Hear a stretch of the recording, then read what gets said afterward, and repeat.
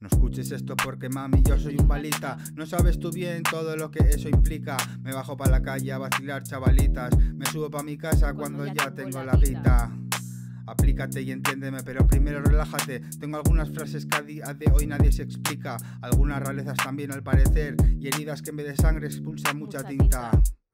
Yo vengo del metro, underground para ser exacto. No me juzgues por mis pintas, hazlo por mis actos. Te doy plantón, pues esta es la primera cita. Me excitan las miradas aún más con mascarilla. Lo hago sencillo, lo suelto como sale. He tomado dos cervezas de más y dime quién es el culpable. Yo rimo sin necesidad de rime, soy inevitable. Y en caso de una urgencia, nena, me lo pongo antes. Estoy amable, parlante, inigualable. Tengo bien presente que esas dos quiero palparte. Yo solo hago sucio arte en mi soledad. Si quisiera irme de putas, viviría de la caridad.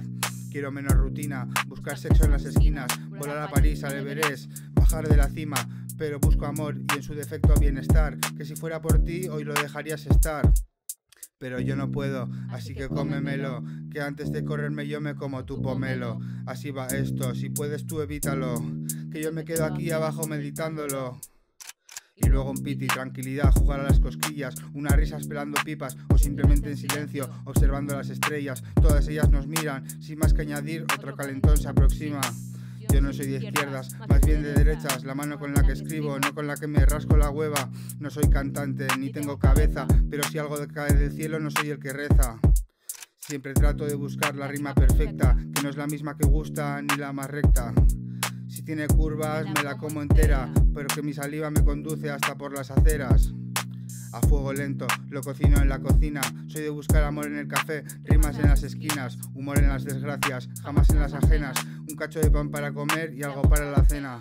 Agonía en el papel, sinfonía en el pesar, algo que me saque de estar triste sin más.